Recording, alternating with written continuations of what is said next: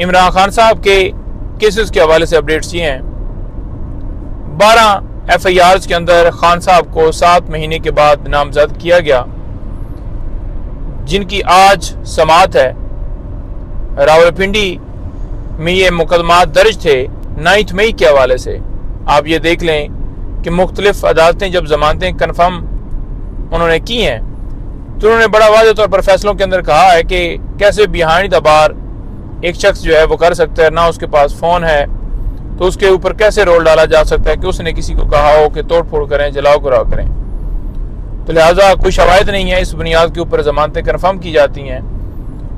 लेकिन दूसरी तरफ़ देखें कि वो सिलसिला रुक नहीं रहा। अभी भी स्टिल खान साहब के ऊपर केसेस में मुख्तलिफ़ मुकदमात, जो मुख्तलिफ़ नाइन्थ मई के हवाले से थे, उनमें नामजद किया जा रहा है। और इसी तरह से दीगर रहनुमाओं को जो प्रेस कॉन्फ्रेंस इस वक्त नहीं जिन्होंने की, उनके खिलाफ कभी फैसलाबाद, कभी लाहौर, कभी किसी जगह नामजद किया जा रहा है।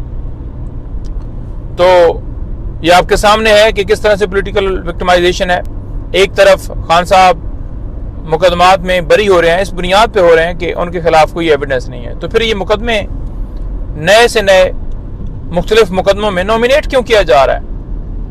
यानी कोई शर्म, कोई हया, किसी नाम की कोई चीज़ नहीं है इनमें। इसके अलावा पाँच केसेस आज यहाँ पर डिस्ट्रिक्ट कोर्ट में लगे हैं। ये केसेस 25 मई लॉन्ग मार्च के ऊपर, इमरान खान साहब के ऊपर बनाए गए थे।